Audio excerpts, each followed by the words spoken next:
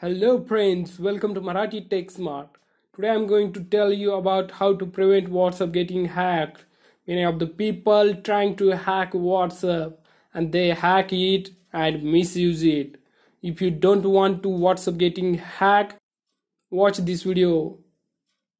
If you not subscribe the channel, please subscribe and do not forget to press the bell icon. Let's start open whatsapp. Here at top of the whatsapp near to search icon there are three dots. Click on it and uh, you can find settings. After going settings you can see account option. Here you can find two-step verification option. Click on it.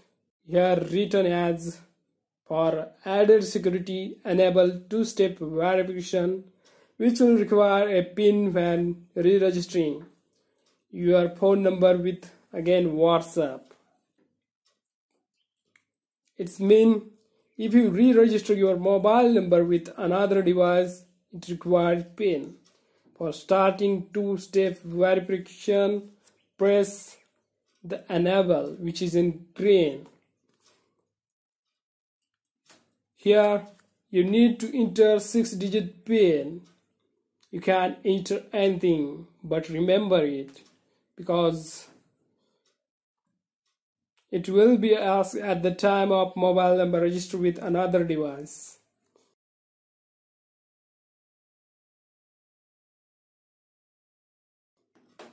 Again enter that pin for confirmation.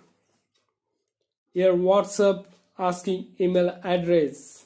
This is very important because when you forget your pin it will be help for resetting pin.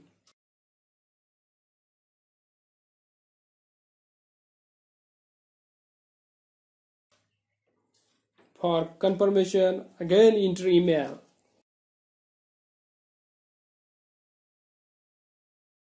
And finally press done. Yes you done it.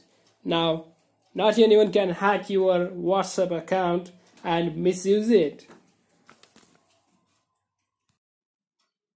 Here are the three options. Disable. Disable is the option for disabling two-step verification and the second option is the change pin.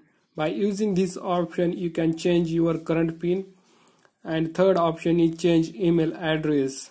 By using this option you can change your email address. No anyone can change your email address and pin because uh, anyone don't know about this pin and email address. If you like this video please like share and subscribe. Thank you for watching video